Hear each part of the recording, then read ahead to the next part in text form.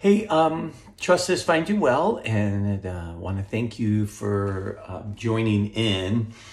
Um, wanted to just take a few of these devotionals um, to remind you that um, as the children of God, we are called to have a, an attitude of gratitude. And so um, let me uh, read from Psalm 118, verse uh, 28 and 29. Uh, you are my God, and I will give thanks to you. You are my God, I will extol you. Oh, give thanks to the Lord, for he is good, for his steadfast love endures forever.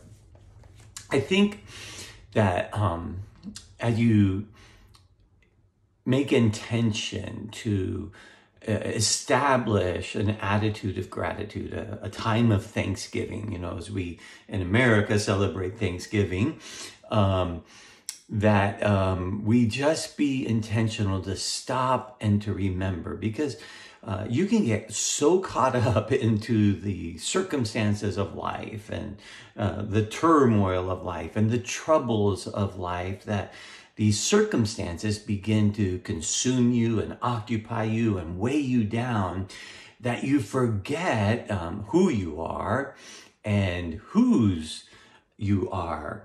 And I love how the psalmist here simply reminds us, You are my God that no matter what's going on in the world and no matter what's going on in our lives and no matter what storms we may find ourselves, we have a God who is in control of us uh, in all of our circumstances and who loves us. And so we have so much to be thankful. And so we choose to give thanks. Uh, I, I talked about this a little bit before, but uh, that the scripture we looked at last time, you know, uh, give thanks in all circumstances. That's a hard one. And uh, I met with uh, a friend of mine some time ago, and he too had Parkinson's, and he just said, "I've just been choosing to give thanks for Parkinson's." And I, I'll be honest with you, I thought, man, that sounds crazy. But um, as it resonated in my heart, I began to realize he had it. You see, he was not living as a victim of his circumstances. And I don't want to live as a victim of my circumstances or a disease that I might uh, have in me and might have to fight. But I, am going to give thanks. I'm going to choose to give thanks and because I'm choosing to give thanks for it, I can have an attitude of gratitude in everything I face and realize I'm not a victim, but uh, I'm the beloved of God. And He's a sovereign God who has permitted these challenges and these circumstances to come into my life that He might reveal Himself to me and through me, that he might release the essence of his presence through me uh, in these challenges, whereas he might not be able to do so in any other times. And so I give thanks to you, God.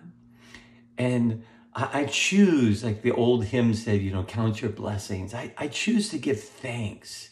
And I have so much to be thankful for.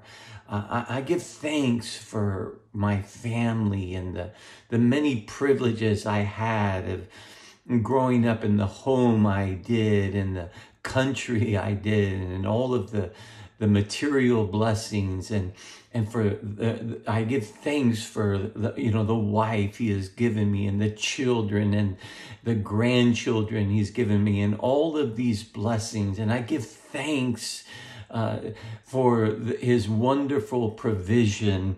And and uh, oh, and you are my God I do extol you. I exalt you.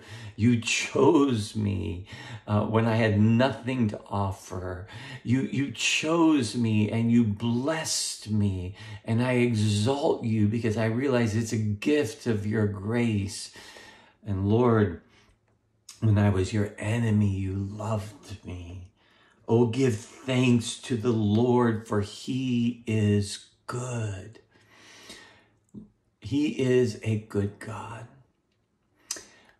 And um, I often find myself praying, Lord, reveal your goodness Reveal your goodness to the people. Reveal your goodness to my children. Reveal your goodness to my grandchildren. Reveal your goodness to my family and friends and congregation and the people I minister. Reveal your goodness. And you say, well, why? Because the scripture tells us that the goodness of God leads men to repentance. And so it's all about magnifying the goodness of God. And I give thanks because He's good and He's been good to me. It doesn't mean that uh, there haven't been hardships in my life and challenges in my life, but in it all, I know that He is good for his steadfast love endures forever.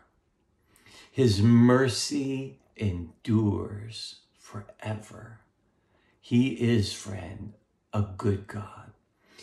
When we're faithful, his steadfast love endures.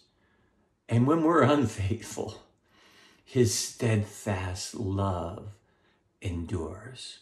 So in a week of Thanksgiving, become intentional today and every day of giving thanks. I thank my God and I thank Him for you and I love you and I hope you have a great day.